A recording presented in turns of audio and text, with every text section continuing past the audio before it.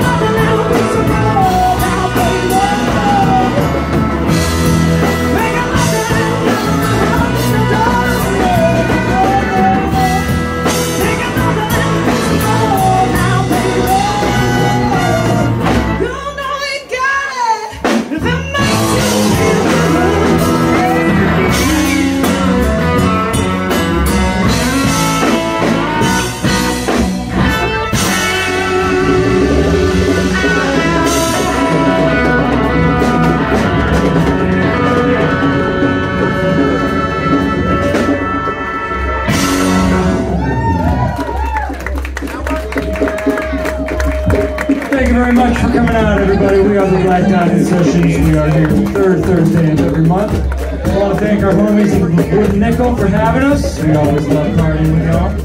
We certainly appreciate all of you coming out, hanging with us. And if you love what you hear and you'd love for us to come back, we got a tip bucket right here up at the table. We sure do appreciate a little bit of help.